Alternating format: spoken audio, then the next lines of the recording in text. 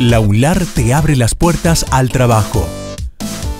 Si sos graduado o estudiante avanzado, inscribite hasta el 1 de junio en el programa de pasantías de experiencia laboral 2017.